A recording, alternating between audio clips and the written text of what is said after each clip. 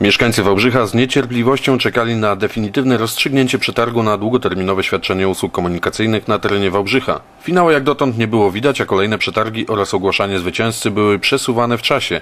Mijały dni, tygodnie i miesiące, a zagadka nadal nie mogła być rozwiązana. Przetarg, który się odbył w sprawie komunikacji miejskiej przed kilkoma tygodniami, nie rozstrzygnął przewoźnika, który przez najbliższe 10 lat będzie woził Wałbrzyszan. Otwarcie kopert nastąpiło blisko dwa tygodnie temu. Wówczas urzędnicy tłumaczyli się tym, że mają do przeczytania wiele stron dokumentów. Co za tym idzie, weryfikacja ofert miała zająć trochę czasu. Kilkakrotnie więc przesuwany był termin ogłoszenia zwycięzcy. Usługi te będą realizowane przez 10 lat. Jest to bardzo duży przetarg. W końcu głos w tej sprawie zabrał Roman Szełemej, który stwierdził, że Cztery oferty, które są najbardziej atrakcyjne, są weryfikowane pod kątem realności wykonania świadczeń na takim poziomie, jakiego gmina sobie by życzyła. Prezydent podkreślił również, że dwie pierwsze oferty pod względem ceny są bardzo atrakcyjne dla budżetu gminy, ponieważ są o 20% tańsze niż cena, którą obecnie płaci miasto. Roman Szełemej w swoich oświadczeniach zaznaczał również, że cena to jednak nie wszystko. Podsumowując, do przetargu stanęło sześć podmiotów, choć jeszcze w 2011 roku kryteria, które były bardzo wyśrubowane, nie pozwoliłyby stanąć do obecnego przetargu co najmniej dwóm firmom,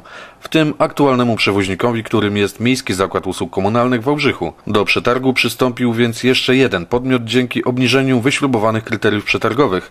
Jest to konsorcjum kilku małych firm z Górnego Śląska, powołane najprawdopodobniej w celu wzięcia udziału w wałbrzyskim przetargu, które z kolei dało najniższą stawkę za wozokilometr. Drugą pod względem niskiej stawki była duża firma Veolia Transport z Torunia, z którą nawet były już prowadzone rozmowy. Natomiast Mzuk dał dużo wyższą stawkę, piątą pod względem kolejności oferentów. Mimo tego, co pisała wałbrzyska prasa, wskazując Mzuk bądź Veolię jako przyszłego przewoźnika, zwycięzcą i przyszłym przewoźnikiem miejskim w Wałbrzychu będzie Śląskie Konsorcjum Autobusowe. Jest termin jeszcze na odwołania i po okresie 10 dni od terminu ogłoszenia wyniku przetargu powinno dojść do podpisania umowy z nowym przewoźnikiem miejskim w Wałbrzychu. Teraz każda z firm biorących udział w przetargu ma dokładnie 10 dni na wniesienie ewentualnych odwołań. W przypadku ich braku umowa ze Śląskim Konsorcjum Autobusowym zostanie podpisana 3 grudnia 2012 roku. Natomiast do 28 grudnia bieżącego roku usługi przewozowe będzie wykonywał Miejski Zakład Usług Komunalnych, a nowy przewoźnik miałby rozpocząć pracę 29 grudnia.